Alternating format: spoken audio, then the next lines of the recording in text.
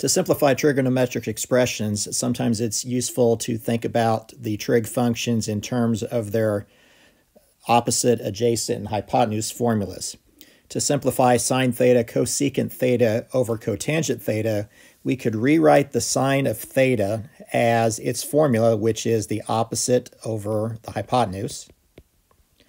We could rewrite cosecant theta of its formula, which just happens to be hypotenuse over opposite, all divided by the formula for cotangent theta, which is adjacent over opposite. Notice since we're multiplying opposite over hypotenuse times hypotenuse over opposite, the opposites would cancel each other out. The hypotenuses would cancel each other out, meaning we just have one left in the numerator over adjacent over opposite in the denominator. If we're dividing by 1 by adjacent over opposite,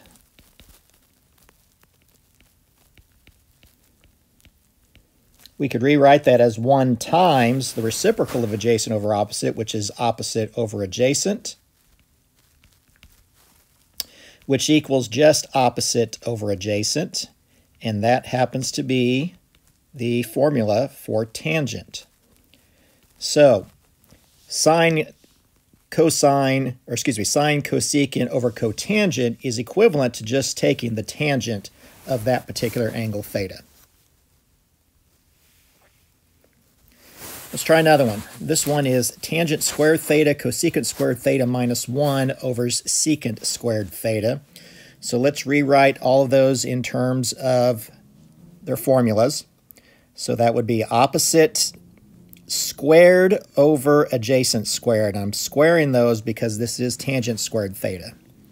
Times the formula for cosecant is going to be hypotenuse squared over opposite squared minus 1.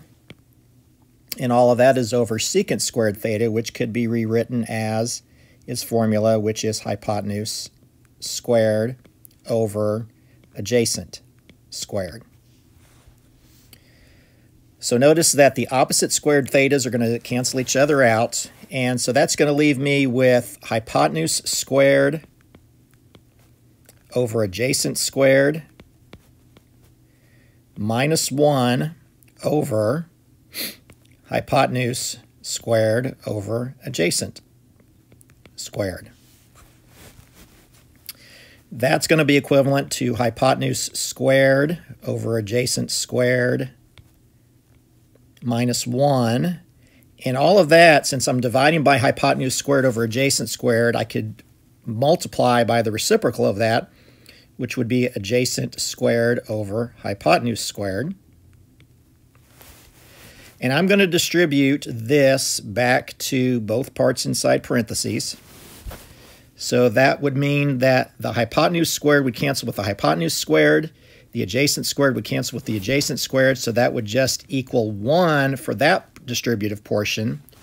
But then I do have to take adjacent squared over hypotenuse squared times negative 1, so that will be negative adjacent squared over hypotenuse squared. And we, at a certain point, you do have to revert this back to the uh, trig function. So that will become 1 minus, and what is the formula for adjacent squared over hypotenuse squared? Well, that is cosine squared of the angle. And 1 minus cosine squared theta is actually the another version of one of the Pythagorean identities. It is equal to sine squared theta. So all of that simplifies simply to sine squared theta. Okay, so let's try one more. So this is secant theta over sine theta all times 1 minus cosine squared theta. Well, before I even try to do my opposites and adjacents and hypotenuses on this one, that 1 minus cosine squared theta just kind of screams at me because as I just got through saying, there are other versions of the uh, trig identities, of the Pythagorean identities, and 1 minus cosine, cosine squared theta is the same thing as sine squared theta. So I'm just going to rewrite 1 minus cosine squared theta as sine squared theta. So notice that I have sine theta in a denominator and sine squared theta in the numerator. So that means this sine theta in the denominator could cancel out with one of the sine thetas in the numerator, which means before I even start rewriting anything, I have this as secant theta times sine theta. Formula for secant theta now is hypotenuse over adjacent. And the formula for sine theta is opposite over hypotenuse. The hypotenuses will cancel each other out, leaving us with opposite over adjacent. And the formula opposite over adjacent is the formula for tangent. So this simplifies to just tangent theta.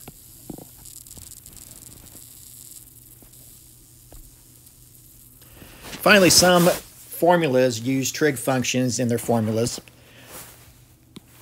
The amount of light that a source provides to a surface is called its illuminance. The illuminance E in foot candles on a surface is related to the distance r in feet from which the light from the light source.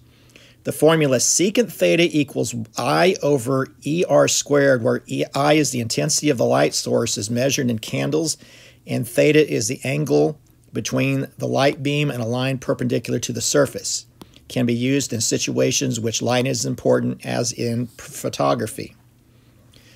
Solve the formula in terms of E.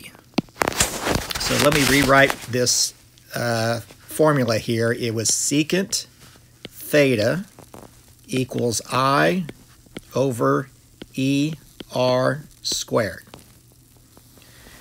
So in order to solve that for e, that means I got to get e by itself. Let's eliminate the equation of fractions. So let's multiply both sides times er squared. er squared. So the er squares will cancel out on the right side, so that just leaves it with i equals er squared secant theta.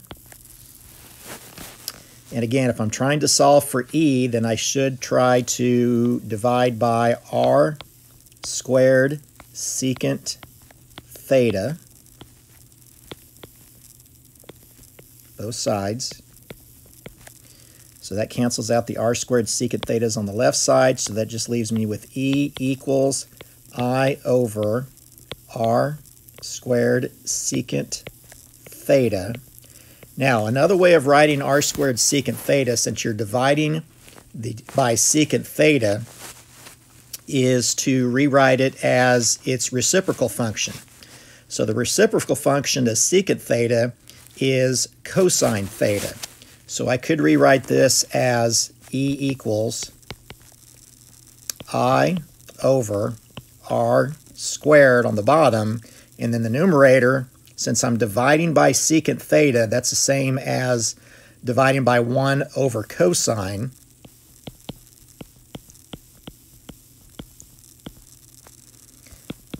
Which means I would turn that into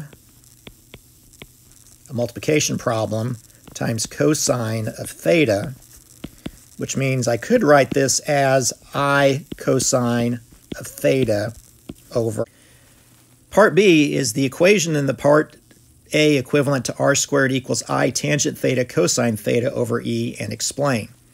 So we're going to solve this one for e as well, and we're going to compare it to the one we just got through solving for. So to solve this one for e, let's eliminate the fraction on both sides. So I'd multiply both sides times e. So hopefully you can see what I'm doing there. That would eliminate the fraction on both sides. So that would be er squared equals I tangent theta cosine theta. I'm going to go ahead and change tangent and cosine to their opposite adjacent hypotenuse functions. So that would be ER squared equals I times. So the formula for tangent is opposite over adjacent.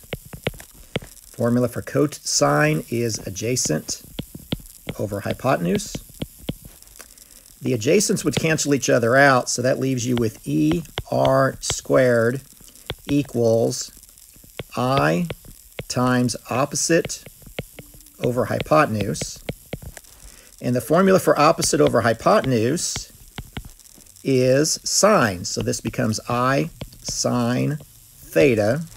And again, if I'm solving for e, I need to divide both sides by r squared. So that means e equals i sine theta over r squared. And notice that this is not the same as this. These are not equal to each other because one is in terms of cosine, one is in terms of sine. So they are not equal to each other.